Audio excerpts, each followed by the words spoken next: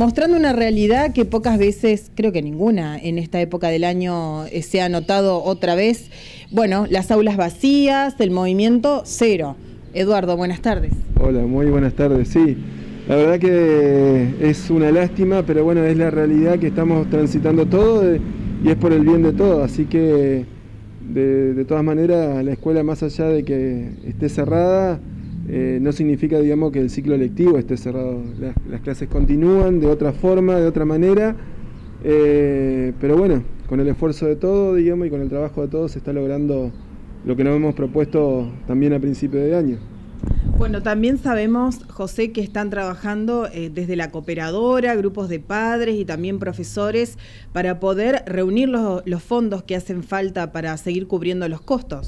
Sí, eh, estamos trabajando de cooperadora con permiso justamente del municipio. Eh, se hacen pequeñas cosas, se hicieron ventas de, tortas, ventas de, de ahora y próximamente una rifa.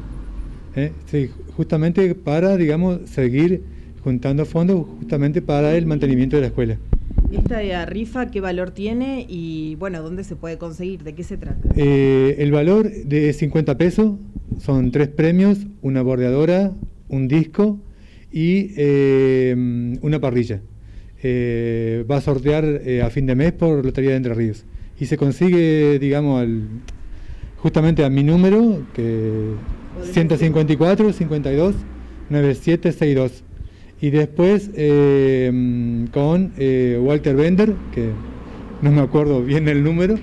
Eh, bueno, somos los dos que estamos vendiendo. Pero si no, lunes, martes y miércoles en la escuela, de 9 a 12. Bueno, ¿ustedes los directivos deben seguir asistiendo o pueden seguir con esa modalidad en el domicilio? Siempre. Nosotros estamos haciendo guardias, nos venimos, eh, hacemos rotación, digamos, de estas guardias, digamos, en función de las necesidades, pero bueno, eh, en este caso, como te decía Juan José, digamos, la escuela está abierta de lunes a miércoles con guardias mínimas, con personal mínimo, eh, cumpliendo, digamos, cuestiones y obligaciones administrativas de nuestra facultad.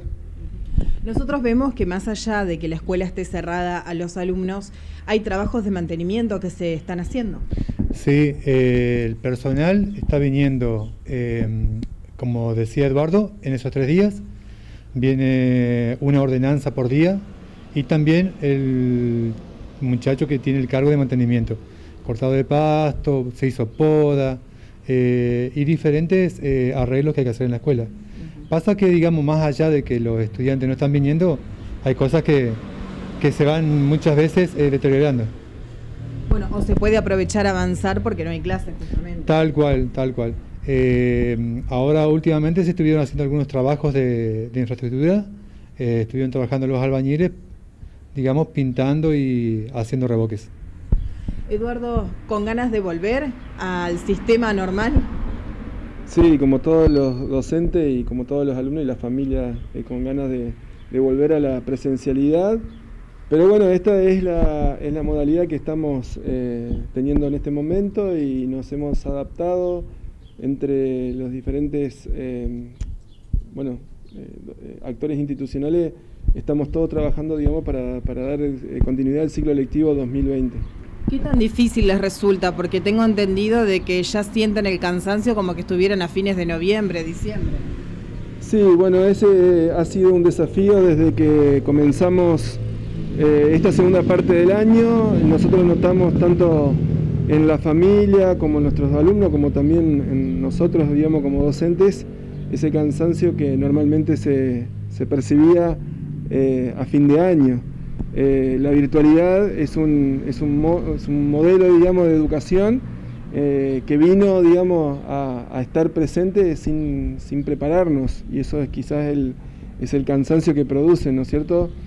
Eh, buscar las mejores estrategias, las mejores metodologías, las formas de comunicación, hasta, digamos, encontrar cuál es la mejor en función, digamos, de también de los, de los recursos que la familia y el alumno tiene a su alcance para poder eh, bueno, tener contacto con el docente y con la escuela. Bueno, en tu caso, eh, docente a cargo de qué materias? Bueno, yo tengo materiales de construcción, que es de, justamente de la carrera Maestro Mayor de Obra, y también en el ciclo básico tecnología, primero y tercero. ¿Y con qué realidad te encontrás, digamos, a la hora de que tus alumnos tengan que presentarte el trabajo? Eh, ¿Cómo se hace? Porque es una carrera, en este caso una materia muy manual, ¿no? Claro, eh, se complica un poco en el sentido de que, de que por ahí no se pueden desarrollar las clases prácticas que se hacen en el taller, digamos. Pero la parte que es teórica sí, se puede trabajar bastante bien. Eh, últimamente con ellos estábamos trabajando mediante grupos de WhatsApp y em, correo electrónico. Pero también, digamos, hay diferentes aplicaciones que, estamos utilizando. Eduardo, en tu caso, eh, ¿has notado mucha falencia por parte de la familia o de los alumnos en cuanto a la presentación de tareas o trabajos? No es, no es momento por ahí de hablar de falencia ni, de cuestiones eh, eh, como para centrarse, digamos, en, por ahí en estos sinónimos, digamos, sino que hay que rescatar por ahí, digamos, el esfuerzo y el trabajo que están haciendo la familia. Nosotros a partir de esta semana que, luego eh, viene después del feriado, digamos, el fin de semana largo, empezamos a eh, implementar una plataforma institucional de comunicación en la cual las familias ya han recibido por medio de, los preceptores una comunicación en la cual manifestamos cuál va a ser eh, esta, esta plataforma y bueno, esperemos que, este medio de comunicación, esta plataforma, sea, sea para bien de todos, digamos, porque eh, tiene entre otros objetivos facilitar la comunicación, eh, mejorar los procesos de aprendizaje, respaldar los procesos pedagógicos que se han transitado los docentes y es por eso digamos que la plataforma se va a empezar a implementar de manera paulatina, escalonada, y llegar al 2021 con, ya con la plataforma digital de la escuela eh, en funcionamiento por completo. ¿Se cree o crees o querés que empiece a pasar esto de empezar a incorporar los alumnos en modo presencial? En lo inmediato, digo, agosto, septiembre. Sí, eso es justamente, quizás es lo que más nos desgasta, el no saber cuándo. Eh, se hablaba de agosto, se habla de septiembre, se habla de octubre, se habla de no volver este año, se habla de volver el año que viene, ¿no? se habla de no, inclusive de no empezar el año que viene. Entonces esta incertidumbre, tanto a docente como a familia, como a alumno, bueno, es lo que va desgastando, pero obviamente es el deseo de todo, digamos, de, querer volver a que la escuela abra sus puertas, digamos, y, volver a tener a los alumnos, digamos, como todos los días. La verdad que sí, ¿eh? cuesta, cuesta creer que todo esto haya pasado. De tu parte, José, ¿querés agregar algo más? Eh, sí, es bastante, digamos, justamente como, decía Eduardo, que la incertidumbre de cuándo vamos a volver. Eh, por ahí, acá en la escuela, eh, pensábamos volver ya ahora en agosto, después de las vacaciones, aunque sea con, con los séptimos años, que son los, los cursos que se reciben este año, pero bueno, no, no, no hay nada cierto de, los ministerios de educación. Van pateando digamos la pelota una semana para otra y bueno y estamos así. Eh, y bueno nosotros seguimos trabajando eh, digamos tratando de, llegar a los estudiantes y a las familias de esta forma virtualmente que, es la única forma que podemos estar con ellos. Muchas gracias. Eduardo algo más para agregar no, solamente decir, eh, agregar lo que estaba diciendo Juan José, que la escuela se sigue preparando para, para un retorno pronto a las actividades.